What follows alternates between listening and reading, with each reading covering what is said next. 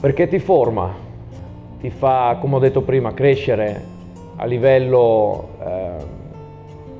personale, a livello di gruppo, perché comunque nel rugby eh, non c'è, vedo comunque non c'è ad esempio razzismo dove può esserci anche in altri ambienti, perché comunque in campo sei unito,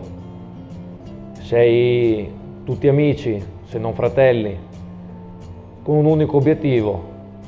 divertirsi e ovviamente si cerca anche di vincere, ecco, che sinceramente, personalmente, se io vinco mi diverto di più, però eh, è una scuola, una scuola per, per la vita e per, per il futuro dei bambini.